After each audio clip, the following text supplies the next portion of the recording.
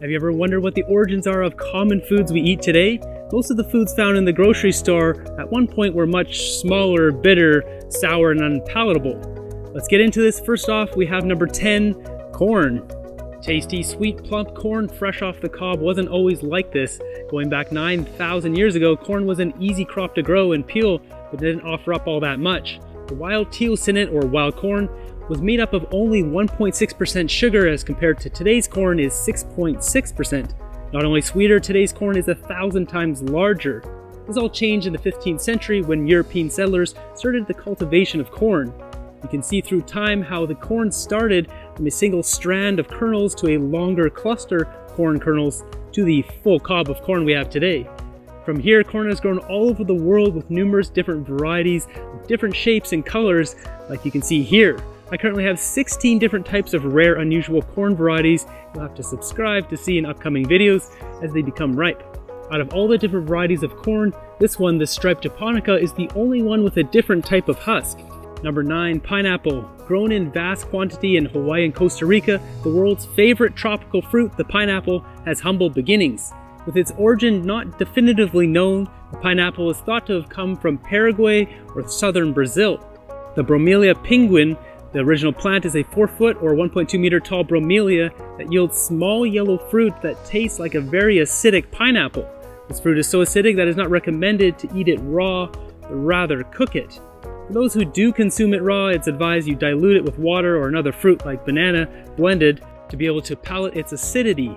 The acidity is so strong it'll cause mouth, lip, and throat burn, which only happens with a common pineapple if it is consumed when the outer skin is green and unripe.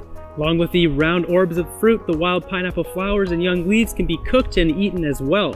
These flowers can produce up to 10 to 75 round fruits per harvest as compared to a common pineapple, which ends up fusing together all of these to create one large fruit. While the common pineapple tropical gold was the final result of cultivation of the Bromelia pinguin, other different varieties were also created like the red wild pineapple Ananas bracteatus. Still very acidic, it wasn't until recently that this pineapple was cultivated to be edible and delicious with edible skin. I could talk pineapple all day, so I think I'll save the numerous amazing varieties for another video. Number 8. Carrot. The carrot wasn't always a sweet and tasty treat. Originating from Daucus carota or Queen Anne's lace, this small bush produces one gnarly fibrous carrot.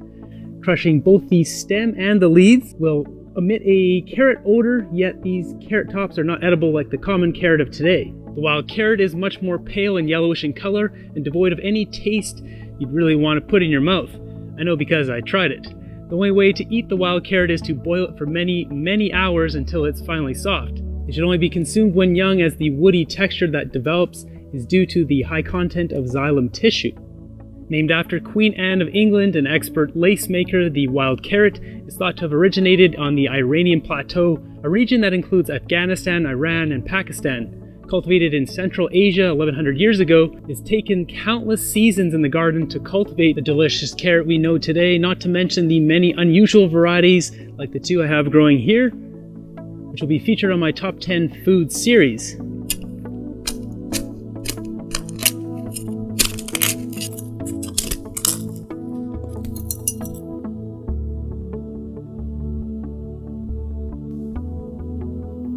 This wild carrot I just pulled out of my neighbor's yard. Oh, it smells really good, like a really good carrot, but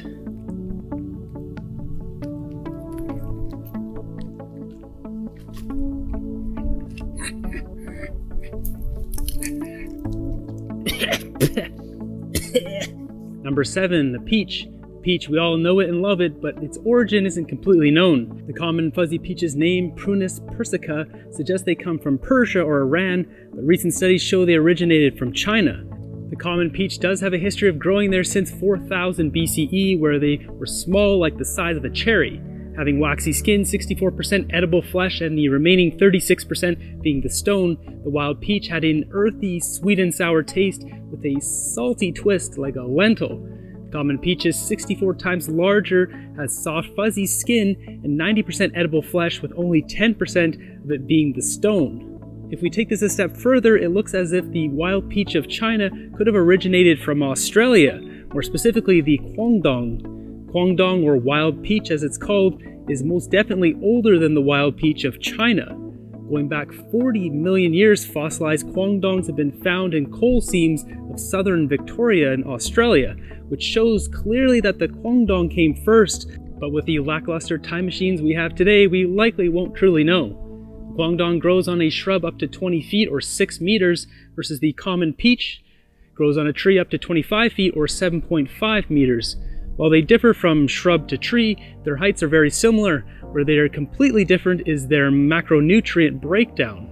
The Quandong is made up of 50% fat, which is incredibly unique for a fruit, the remaining going to carbohydrate and protein, where the common peach is 87% carbs, 8% protein, and only 5% fat. The common peach enjoys hot summer heat but a cool period to enact a chemical reaction to make it thrive, where the quandong is found in central and southern deserts of Australia, where it is scorching hot and relies on being a hemiparasitic plant or one that uses the root system of another to pull the nutrition it needs.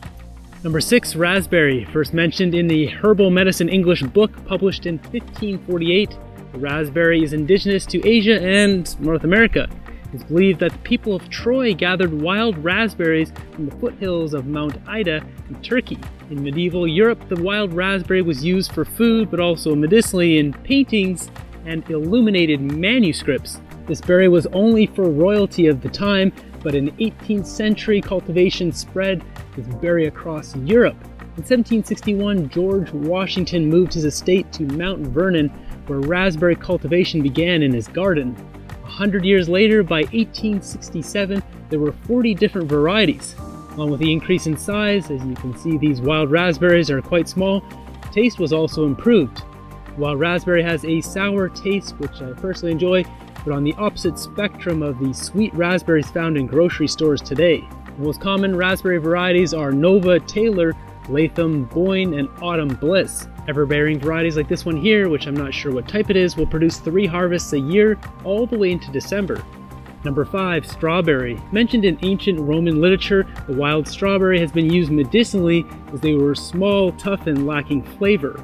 From the 1300s to the end of the 1500s, the Fragaria vesca and Fragaria moschata, the two varieties of strawberries in Europe, started to make their way out of the wilderness and into the gardens. Charles V was one of the first kings of France to demand strawberries be in the royal garden. In the 1600s, the Virginia strawberry, Fragaria virginiana, was brought to Europe but was unappreciated by most. English gardeners got to work creating 30 new varieties from these three original varieties of strawberries.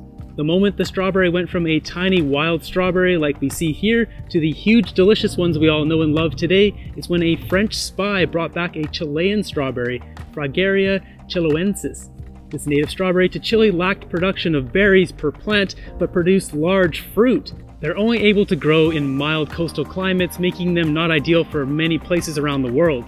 The Virginia strawberry and the Chilean strawberry were then crossed to create the Fragaria ananassa the common strawberry we eat today.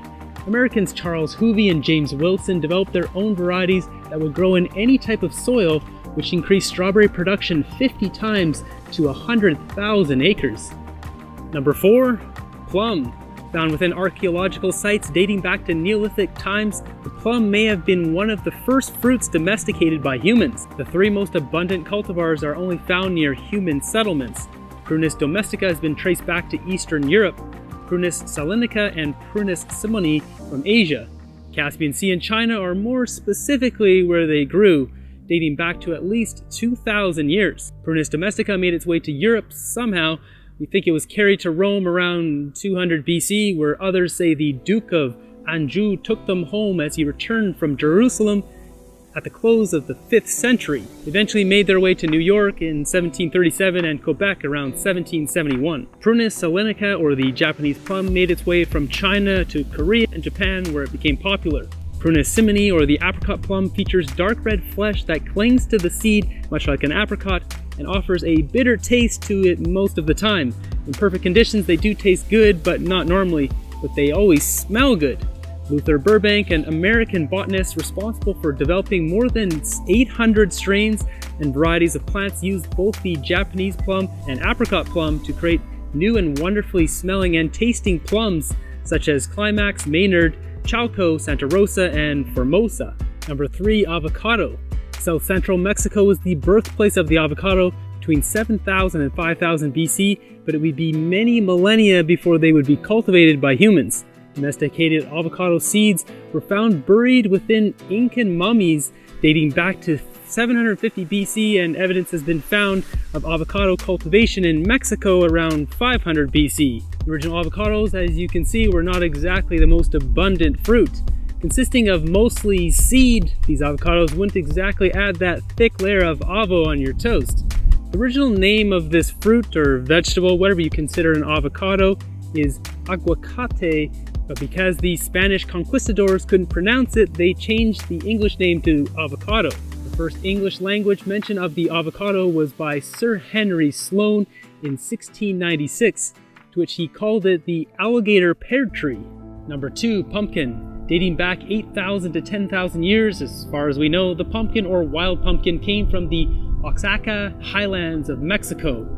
Carbon dating done on the seeds found in the Guila Naquitz cave gives us the origin of the pumpkin as far back as possible, along with much younger bean and maize samples being 2,000 to 5,000 years old. The wild pumpkin, or Cucurbita pepo, is comprised of two molecularly divergent groups that on their own had already differentiated through geographical isolation many years before humans domesticated them. Cucurbita pepo naturally split into the Cucurbita pepo pepo and Cucurbita pepo ovifera. The pepo family includes pumpkin, zucchini, and other marrow squashes, where the ovifera family includes acorn, crookneck, and scallop squash, and most ornamental gourds. The Greek word pepon, or large melon, was changed by the French into pompon, which was changed by the English into pompion, which was changed by the American colonists into pumpkin. Number one, jackfruit. My personal favorite, the jackfruit didn't start off as the heaviest fruit on earth. Cultivated varieties today can weigh in over 100 pounds or 45 kilograms, but it wasn't always this way.